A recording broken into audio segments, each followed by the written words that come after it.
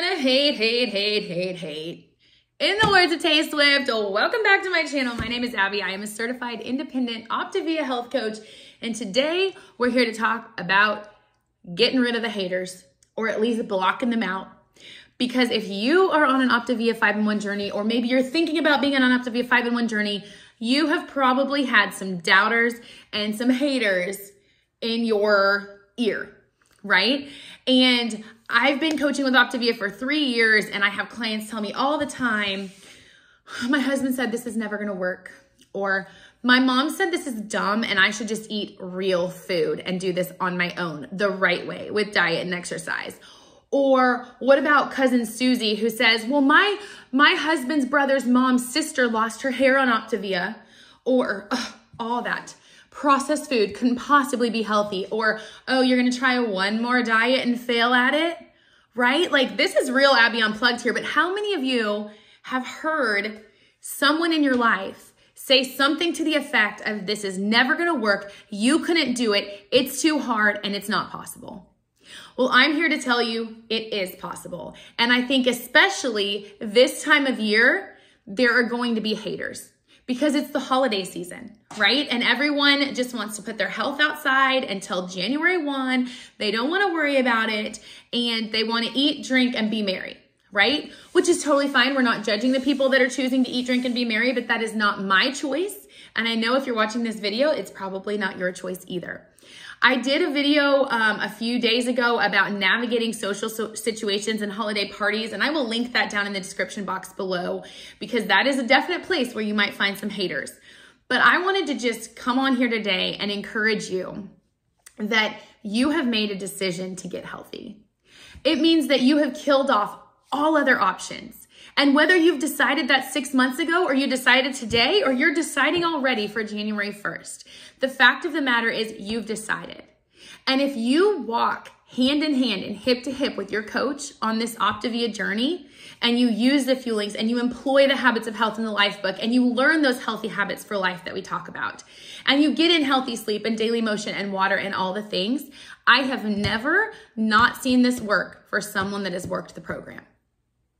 You have to work it. That's your choice. But once you've decided, you are capable and you can do this. And the haters can take a take a hike, right? Because sometimes your friends and family might be really insecure in themselves. Acquaintances, people on social media saying, "Why is why is your health coach posting those pictures in a sports bra and spandex?" Or why, why do we have to see all these pictures of people that were fat and now they're not? A lot of times, anyone that's going to give hate to you, it's because they're unconfident, they're unconfident, excuse me, in themselves, and they're a little jealous that you've decided. And they're a little jealous that you've taken the time to put your health first. And I hate to say it, but they might even kind of want to sabotage you, like not not like actually cognizantly, but they might be like, oh, just take Christmas Day off, the whole day, have some cinnamon rolls, eat the bonbons, drink the whiskey, whatever it might be. And that's fine if that's what you decide to do. But if that's what you've already decided not to do, and you're like, no, thank you, I'm going to pass on that. The people that aren't going to support you in that, that aren't going to root you on to be the best version of yourselves, you can set them aside for right now. Okay? It, it hurts. It does hurt when your friends and your family maybe doubt or say, why would you possibly choose to go on a health journey again during Christmas? Trust me, I've gotten plenty of that. But the thing is, is I'm showing up every day and I'm proving them wrong and you're going to do the same thing. So don't let the haters have your ear, right? You stay laser focused on the person you want to become and who you want to be once this health journey comes to a close, which really the health journey never comes to a close because you're always of the mindset to get better. But once your weight loss portion of your journey comes to a close, you can look back and say to yourself, you know, I didn't listen when Aunt Susie told me to take the pie home. I told her, no, Aunt Susie, I don't need that. I didn't listen when my brother said, my sister's trying the 15th thing in her life. Well, this is to work. So as you get ready next weekend to go and be surrounded by your friends and your family who most likely love and adore you, but might not be the most sensitive to a health journey, I want you to just think about what you're to say. And I want you to have that pre decided in your mind so that you don't let it throw you off guard. So here's some simple verbiage you can do. First, you have to decide what your plan is. I'll just tell you my plan, um, and I'll tell you the three plans that you could probably do, and then let you make your decision for yourself. And the verbiage is going to depend on that. So, I personally am deciding that I'm going to take one meal off after on Christmas Eve, like after 5 p.m., and then I'm going to take lunch off on Christmas Day. The rest of that time, I'm going to be eating my five fuelings, drinking my water, doing all the things I normally do.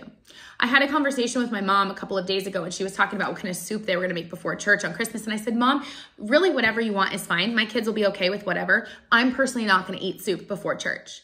And that just struck her as strange. Like, why would you not eat soup? It's Christmas. I'm just choosing to have a fueling, Mom. I'm going to have my meal after dinner or after after church. Um, so you can just say, hey, that doesn't fit within my goals right now. I'm trying really hard to just make this one choice and stay on program. Thanks for your support. Um, you might choose that you want to take the day off, and that's fine. Totally your prerogative. No judgment here. And you can just say, hey, mom, I'm actually going to take Christmas Day off. So on Christmas Eve or the day before, I'm still going to be eating my fuelings and having my lean and green. Do I need to bring my own, or can we adjust, you know, what we're having to, to fit what I'm doing?